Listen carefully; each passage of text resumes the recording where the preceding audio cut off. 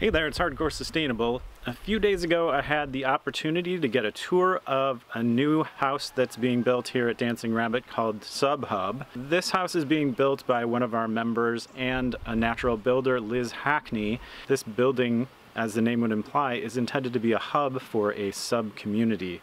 So here at Dancing Rabbit, um, not everybody has everything they need built into their house. So they might not have a shower, they might not have bathrooms or a kitchen.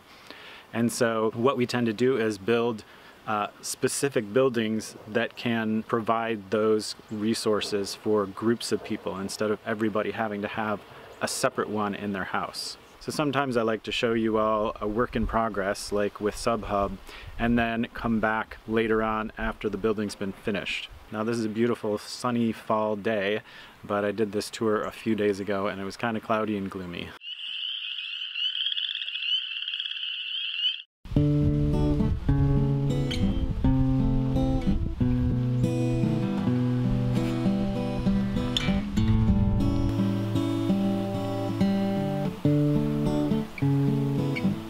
How you doing, Liz? Uh, come here to see Subhub and find out the progress of your, your work here on, on your beautiful building. Yes, uh, welcome everybody. Uh, we're giving Dan a tour today and showing everyone um, some of the things we've been working on.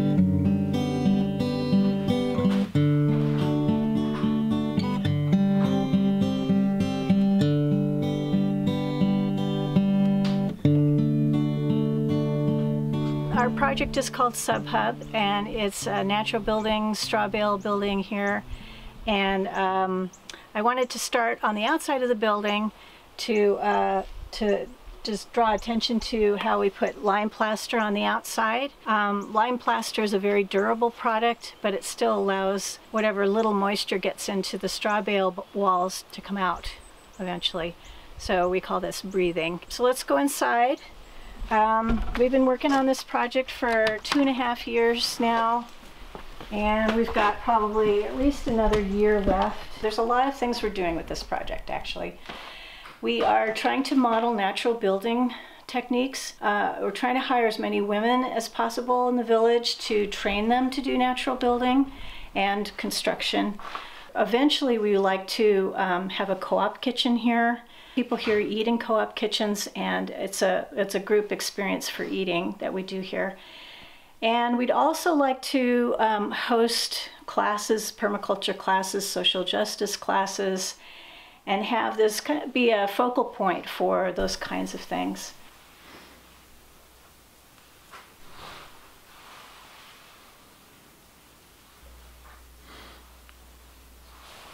We have this concept at DR about sharing resources, and that means consolidating energy, high energy use um, functions in one building, like our common house, which has uh, radiant floor heating, it has um, washer and it has uh, showers and things like that, all in one building. And that way we can build our houses here that are personal homes. We can build them smaller.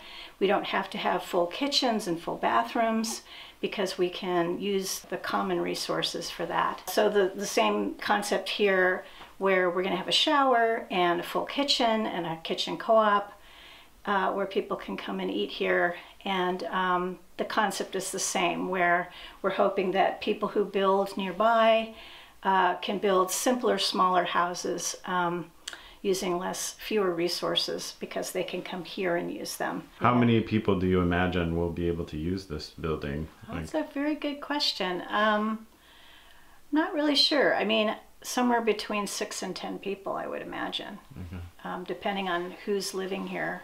Yeah, that remains to be seen, but it seems like there we, we can use another co-op kitchen here.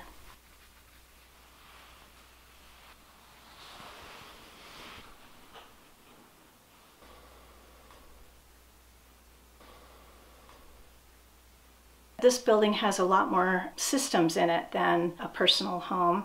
So for example, in a few weeks, we're going to start building a masonry heater, a very energy efficient or efficiently burning wood stove.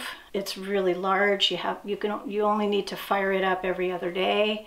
It uses less firewood um, because it burns more efficiently. Uh, we have radiant floor tubing in here. We have tubing where we run warm water through the tubes, and the cob subfloor absorbs that heat and then releases it uh, in, at a slow, even rate. We also tried to have redundant systems here, so we, we plan on heating our water with a solar water heater and there are times of, in the winter where it's too cloudy for solar, and so we put in the masonry heater, and we're planning on running copper tubing um, on the back of it uh, to heat our water. So we have both. Uh, so no matter how cold it gets or cloudy, in the wintertime we can have warm water.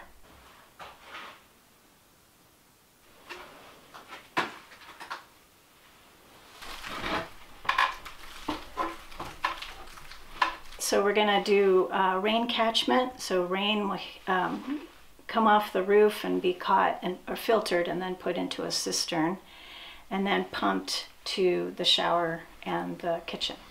Yeah, so we, we haven't put our cistern in yet. We'll do that in the spring, probably.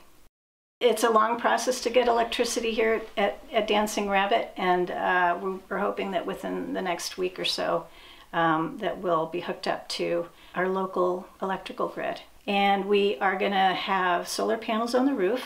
And uh, most people have solar panels. They're feeding into that system.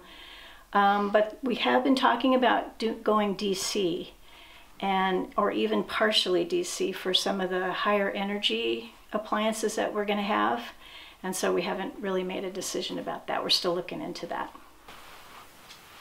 Oh i can talk about the natural system of the building itself which is um, why we use a straw bale and why we use the cob plaster and the lime. One thing that is really great about it is that the clay plaster helps regulate the temperature and the humidity inside the building, whether it's too dry in the winter or it's too uh, humid in the summer and allows a lot more air exchange with the outside environment. So there's always fresh air coming in here. And the straw bales, of course, insulate and keep whatever heat we are having in here or whatever cool air is in here in the building. And we, we did notice that as soon as we enclosed the walls to the upstairs and we had windows and doors in place here downstairs and we had uh, plaster on all the walls, it started interacting with the outside temperatures.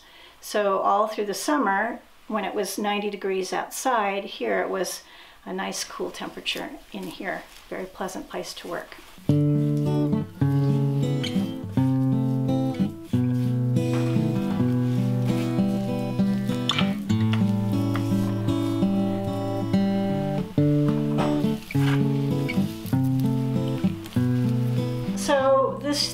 Season we went from um, a scratch coat, which is the, the second coat on the interior walls of clay plaster, and we put our finished plaster on, which is uh, a different recipe. It includes cow manure, and this gives the plaster really smooth, glowing kind of look to it. So the, the appearance of the walls this season has really changed. This is what they will look like. We also um, put in a, a finished earthen floor on this kitchen. This is the kitchen. And then on top of it, we mortared tile. So that's, that's uh, what we spent a lot of the June and July doing.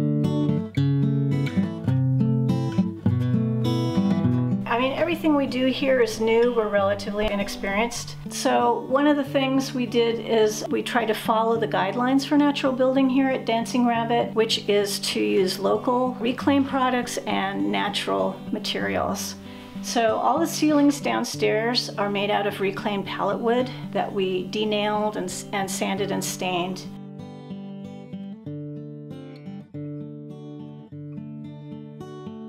One of the funnest things we did this season was um, these bottle walls. So for, this is part of the bathroom wall. We did a light clay straw infill wall where you put forms up and you, you tamp down a mix of, of straw and water and clay. And then after a few days, you take the form off and you're left with a, a pretty nice smooth wall. And then up here, a different clay recipe that's got a lot of um, sand, clay, and a lot of long straw, uncut straw. And this makes for a really dense clay plaster and it holds, it holds the wall up, holds the bottles up. And then we moved on to this second cob bottle wall. And this is this form is going to form a wall between the hall and the living room. The building is divided into three. We've got the kitchen, we've got the bathroom hall, and then we've got uh, the living room. Uh, we also have an upstairs where we have two lofts and a storage area, and we're hoping to um, host uh, work exchange people um, and, and house them here. So now we're up in the lofts, one of the lofts on the east side, and uh, this this loft has a, a low ceiling. Um, we are the fourth people to own this building and work on it. The original owners weren't going to have a second story, and we decided to put some lofts in here, and so we ended up with a lower ceiling. On the, the flooring here, we have heart pine, longleaf heart pine, I think they call it, which was salvaged from a barn that had been, uh, they had put their this flooring in that barn in around 1880. And, uh, and the wood was salvaged and then we bought it. So to us, this floor is pretty special. We also have, in each loft, we have uh, a, a, ledge, a sleeping ledge. And uh, so on a hot night, you can go out here, you can spend some time out here in the wintertime, the view is really great because you can see all the way across. Oh, nice. Yeah. A little bit like a treehouse. Mm-hmm. The loft actually on the on the west side is much more completed. And so what what you're seeing when you're walking up to the building is uh, the same sleeping ledge that you saw upstairs. And there's a railing that Graham built, and then he screened it in. So that's what you're seeing is that that's mm-hmm. screened in. Mm-hmm. And that way you can go out there and sleep without being eaten alive by mosquitoes. And uh, what is your natural building history and experience? Oh. uh, well, this all started because I, uh, well, I moved to DR. I had no intention of building.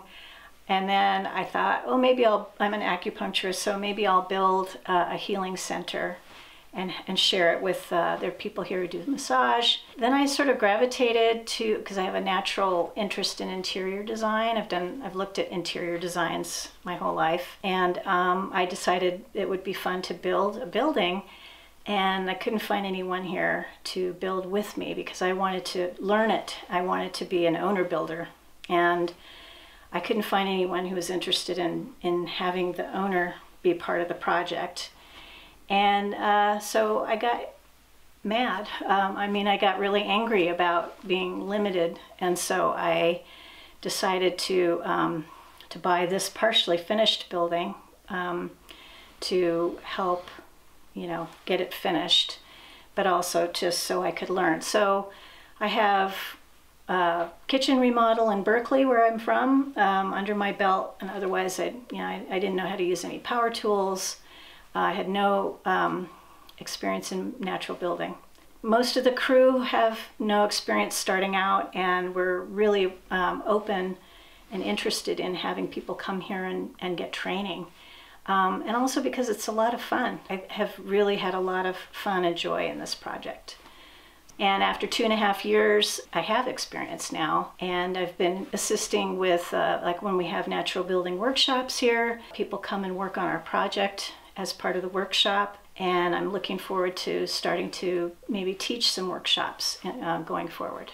So, what resources then have you used to learn? I mean, did you go to any workshops yourself, or did you um, just get it from books or talking to people? Or? Well, when I started this project, um, I had been in acupuncture school for seven years, so I'm sort of allergic to classes. I don't, I don't like the class format myself doing learning by doing is really um, what I like to do right now. And so, yeah, we uh, we read, um, we we Google, we watch videos, um, we talk to people. We have a mentor who is an experienced builder who we meet with about once a quarter, and uh, he helps us steer clear of some major mistakes that we might make. Yeah, a lot of videos, and also googling um, the names of things like somebody will say, "Oh, you need a, a, a such and such lug screw or something," and I won't know what that looks like, or uh, so I'll I'll Google it to see what it's, you know. Anyway, so it's a lot of research. Yeah. I want to thank Liz for opening up her building to us and giving us a tour of the progress so far. We'll definitely be revisiting SubHub after it's finished to give you an update and to see it in operation as a sub community resource. Until then, keep watching Hardcore Sustainable, subscribe to the channel and click the bell for notifications, follow us on Instagram and Facebook, and if you want to help fund the creation of more videos, go to patreon.com slash hardcoresustainable and become a patron. Another way to support my channel is by hiring my bookkeeping services. All my bookkeeping is solar powered, so if you have a small business and need to get your books in order, or don't want to do your books yourself, go to solpowerbookkeeping.com for more info. Keep it radical, keep it hardcore, change your own life for the better, and the world will inevitably get better.